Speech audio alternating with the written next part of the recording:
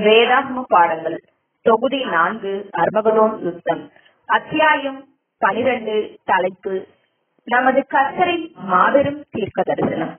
பக்கம் எட்நூற்று முப்பத்தி மூன்று முதல் எட்நூற்று முப்பத்தி ஏழு வரை.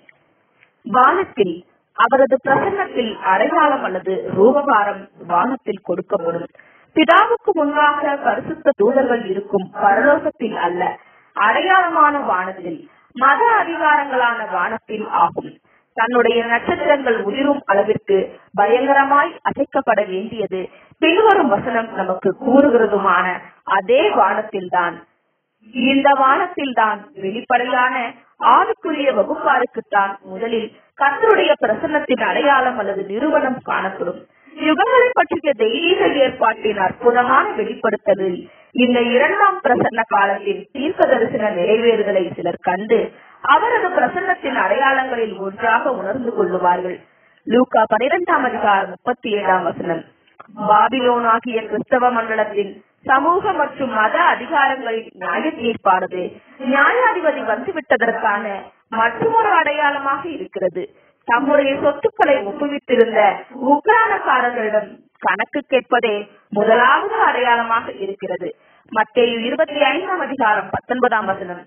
லூகா பத்தொன்பதாம் அதிகாரம் பதினைந்தாம் வசனம். தேவனுடைய வீட்டில்தான் நியாய தீர்ப்பு முதலில் ஆரம்பிக்கப்பட வேண்டும்.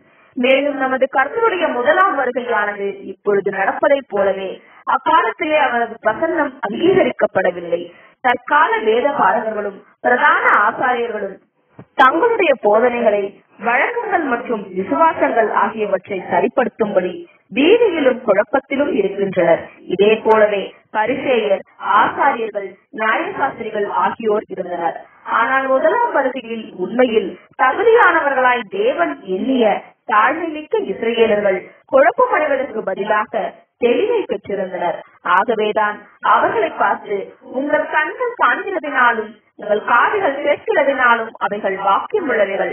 அநேக தீர்க்கதரிசிகளும் நீதிமான்களும் நீங்கள் காண்கிறவைகளை காணவும் நீங்கள் கேட்கிறவைகளை கேட்கவும் விரும்பியும் காணாமலும் கேளாமலும் போனார்கள் என்று நமது கர்த்தர் கூறினார். மத்திய பதிமூன்றாம் அதிகாரம் பதினாறு பதினேழு வசனம். அந்தப்படியே தற்போது மனுஷகுமாரனுடைய இரண்டாம் பிரசன்னத்தில் தெய்வீக வார்த்தைகள் வெளியரங்கமாக்கப்பட்டது. தெய்வீக திட்டத்தின் தெய்வீக காலத்தையும் வேலைகளையும் குறித்த பகுத்தறியும் உணர்வும் மற்றும் பாபிலோனின் குழப்பம் ஆகிய ஆகியவை ராஜாவின் பிரசன்னத்திற்கு மிகுந்த திருப்திகரமான அத்தாட்சிகள். அப்பொழுது மனுஷகுமாரன் வானத்தின் மேகங்களின் மேல் வருகிறதை பூமியில் உள்ள சகல கோத்திரத்தாரும் கண்டு புலம்புவார்கள். மத்திய இருபத்தி நான்காம் அதிகாரம் முப்பதாம் வசனம். பூமியின் சகல கோத்திரங்களோ கர்த்தருடைய பிரசன்னத்தை குறித்து வானத்தில் மட்டுமே கொடுக்கப்பட்டிருக்கிற அடையாளம் அல்லது நிறுவனத்தை காண மாட்டார்கள்.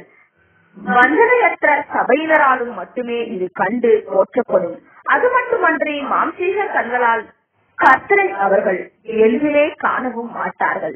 ஏனெனில் மாம்சீக கண்களால் காணும்படி அவர் இனியும் மாம்சீக ஜீவி அல்ல. தொகுதி இரண்டு அத்தியாயம் ஐந்தை பார்க்கவும்.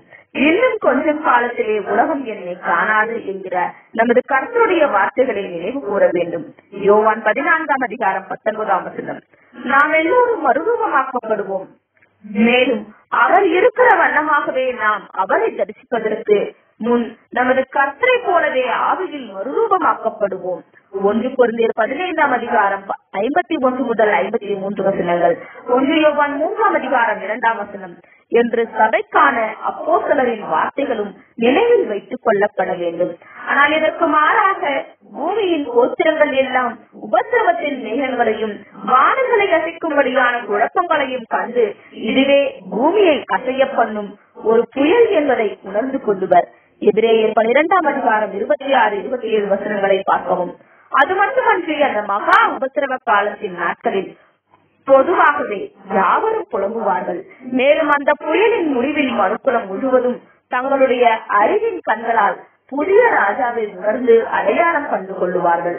தங்களுடைய பாவத்துக்காகவும் தங்களுடைய நீங்காத குருத்தாட்டத்தினால் அவரை நிராகரிப்பதற்காகவும் யூதர் முதலில் செய்து புலம்புவார்கள்.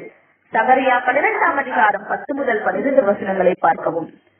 வலுவாய் தொலைக்கும் எக்கால சத்தத்தோடே அவர் தமது தூதர்களை அனுப்புவார். அவர்கள் அவரால் தெரிந்து கொள்ளப்பட்டவர்களை வானத்தில் ஒரு முறை முதற்கொண்டு மறுமுறை மட்டும் நாலு திசைகளிலும் இருந்து கூட்டி சேர்ப்பார். சிலையாட்டிக் மூலப்பிரதியில் சத்தம் என்கிற வார்த்தை இல்லை. மத்தியில் இருபத்தி நான்காம் அதிகாரம் முப்பத்தி ஒன்றாவது வசனம்.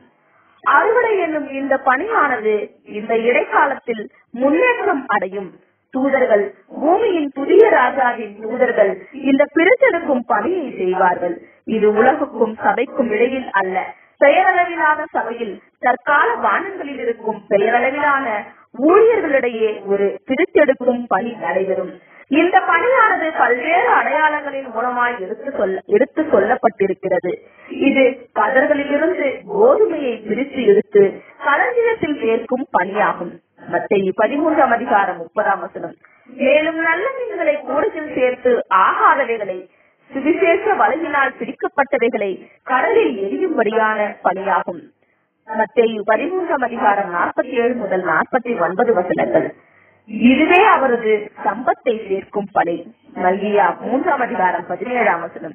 இதுவே என் ஜனங்களை பாபிலோனை விட்டு வெளியே புறப்பட சொல்லும் அழைப்பு. வெளிப்படுத்தல் பதினெட்டாம் அதிகாரம் பதினான்காம் வசனம். இதுவே புத்தியற்ற கன்னிகைகளிடையே இருந்து புத்தியுள்ள கன்னிகைகளை பிரித்தெடுக்கும் நடுராத்திரி சத்தம். மத்திய இருபத்தி ஐந்தாம் அதிகாரம் ஆறாம் வசனம்.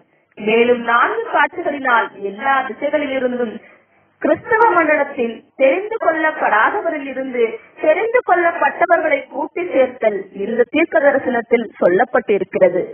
ஆவியின் சரீரத்தில் உள்ள தூதர்கள் இறக்கைகளோடு தோன்றி ஒரு மாபெரும் எக்காலத்தில் ஊதிக்கொண்டு வானில் பறந்து இங்கும் அங்கும் சில பரிசுத்தவான்களை பிடிப்பது போன்ற காட்சியோ அல்லது சொல்லர்த்தமான மீன்கள் சொல்லர்த்தமான கூடைகளில் போடப்படுவதையோ அல்லது சொல்லர்த்தமான கோதுமை மணிகள் சொல்லர்த்தமான களஞ்சியத்தில் சேர்க்கப்படுவதையோ நாம் எதிர்பார்க்க கூடாது. நமது கர்த்தால் இந்த அறுவடையில் பயன்படுத்தப்படும் தேவ தூதர்கள் அல்லது தூதுவர்கள் என்பது இந்த யுகம் முழுவதிலுமாக தமது சுவிசேஷ வேளையில் அவர் உபயோகப்படுத்திய பூமிக்குரிய பணியாளர்கள் பரிசுத்த சாவியினால் உற்பவித்து பிறந்த பிறந்தவர்களான கிறிஸ்து இயேசுவுக்குள்ளான புது சிருஷ்டிகளே என்று நாம் நம்புகிறோம். நிஜமான யூபிலியின் எக்காலம் என்று நாம் புரிந்து கொள்ளுகிறதான அந்த வலுவாய் தொலைக்கும் எக்காலம். வெளிப்படுத்தல் பதினொன்றாம் அதிகாரம் பதினைந்து முதல் பதினெட்டு வசனங்கள். ஆறாம் எக்காலத்தை தொடர்ந்து அடையாளமாய் கூறப்பட்டிருக்கும் ஏழாவது எக்காலமாகும். ஆனால் எந்த எக்காலமும் உண்மையான சத்தத்தை என்றுமே எழுப்பியது இல்லை. அது ஆயிரத்தி எட்நூற்றி எழுபத்தி நான்கு அக்டோபர் முதல் ஆயிரம் வருட ஆட்சியின் முடிவு வரைக்கும் அடையாளமாய் தொடர்ந்து ஒழித்துக் கொண்டே இருக்கும்.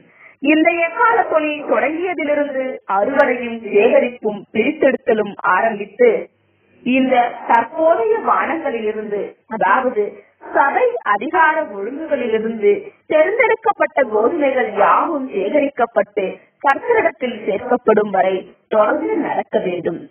அந்த தேவ தூதர்கள் தூதுவர்கள் திருத்தெடுத்தலை உண்டாக்கக்கூடிய கத்தருடைய வார்த்தையின் செய்தியை கொண்டு சென்று அவரால் தேர்ந்தெடுக்கப்பட்டவர்களை சேகரித்து அவரிடத்தில் ஒப்புவிப்பார்கள்.